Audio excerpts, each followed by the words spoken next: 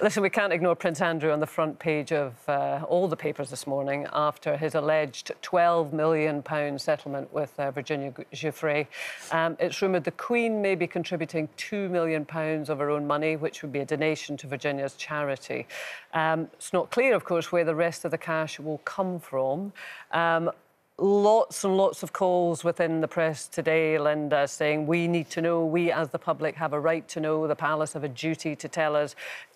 Do you think we've got a right to know? Well, I do think we should know if it's public money. I mean, if it's money coming out of their banks, then that's fair enough. Um, then they should be paying for it. I don't think the public, I don't think we should be using our money to pay for what he's allegedly done.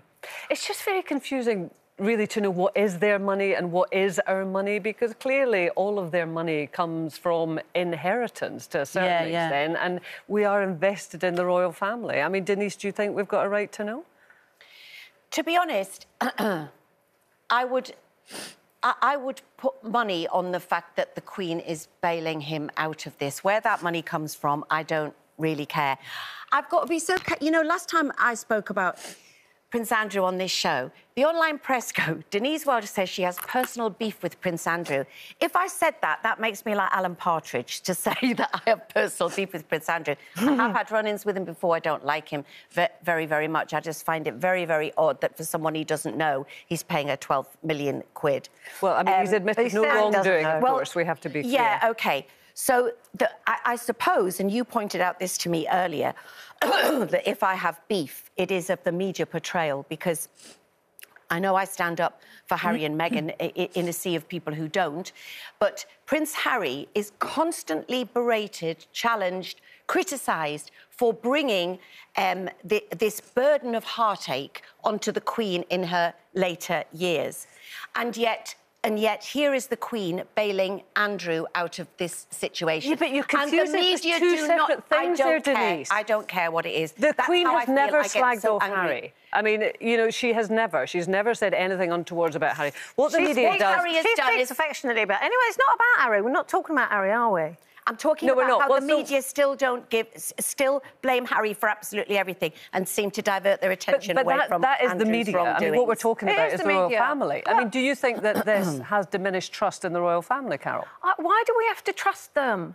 They're the royal family. I just want them to be there. I don't care, actually, what what is going on with them because we don't, don't actually care? know. No, because the point is, Kaye, we do not know. The speculation that surrounds the royal family is rife. It always has been. And they never apologise, they never explain, they never tell you anything. So you don't know. You don't know where the money is coming from. And you ask, you know, do we have the right to know where the money is coming from? Do we have the right not to want to know? Because I don't care where it's coming from. It's, if it's the public money or, or, or if it's any money. We don't even know it's 12 million, do we? We don't know that. Do you think Andrew should be stripped of his titles? Are you bothered about that, that he remains Prince Andrew? I think we'll always call him Prince Andrew, whatever. But... Well, he's, look, we don't know. We still don't know what happened, do we? Don't actually know because he went to visit no, Jeffrey Epstein when Jeffrey Epstein. No, everybody went to visit bloody been... Epstein. Every single celebrity almost. No, what I'm saying earth. is that when There's Jeffrey Epstein had already been accused and found guilty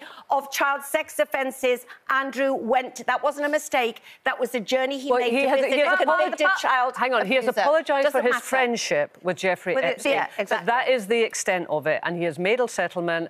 Um, we don't know exactly how much it is, and it has gone to Virginia Giuffre's um, charity. Yeah, good. That Very is all that we know. I mean, to a certain that's extent, right, and there's no day in court, so we'll never know. We'll but never even know. if there had been, we would never have known anyway, yeah. because but the thing is, we have always he says, she says, and it's who you yeah. believe. So, you know, can we drop it now? Yeah, well, we are going to drop it, but I was just going to say, no, I'm not going to oh, drop it. what a heated debate. Well, I mean, it is about transparency. We demand transparency of yeah. everyone now, which is a good thing. But let's be realistic. The royal family, if you go back centuries, like every single family, has had no scandal good. run through it. I mean, absolutely. But up until a certain point in history, they were able to employ the, the tactic that you say, Carol, we say nothing. And the press stood but now back. With social media now the press isn't news, prepared to. No, yeah. they're not. The press behaves very differently. Have we got off to a good start there, Denzi? Yeah, loved it. Thank you.